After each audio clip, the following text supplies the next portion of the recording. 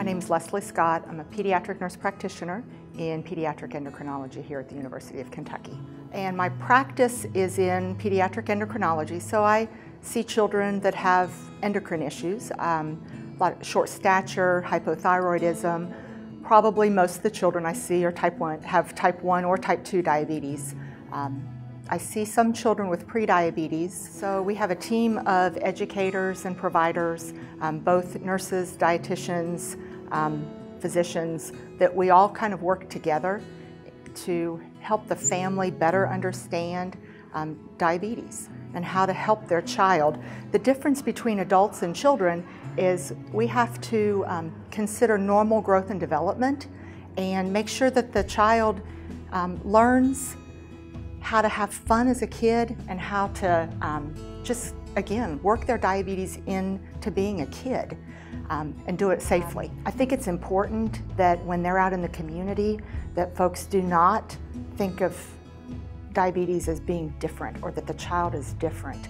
Um, I don't want them not being able to participate in class activities because they have diabetes.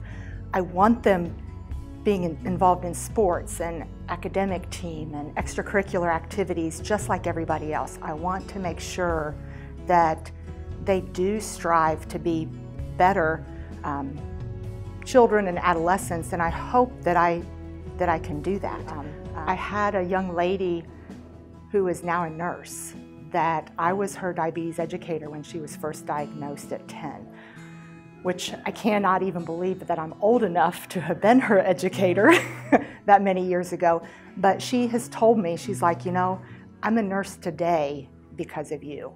And so I think that's probably the biggest um, gift or compliment that has ever been given to me. My mother. Um, my mother was diagnosed with type 1 diabetes when she was 10. She spent her whole life um, growing up with type 1 diabetes. And I remember as a child, she would tell me things that she wasn't able to do as a child um, because of her type 1 diabetes. She wasn't able to participate in a lot of school activities or school parties.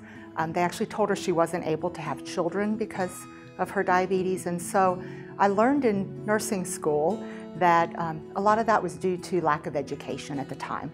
And so I kind of decided that I didn't want another generation of children to grow up thinking the way that my mother grew up and being told you can't. And I want to make sure that children are able to do what everybody else does and kind of work diabetes into their life rather than working their life around their diabetes. So I like the team approach and that seems to help our children um, grow well and um, adjust to the diabetes. I mean, it, it's hard.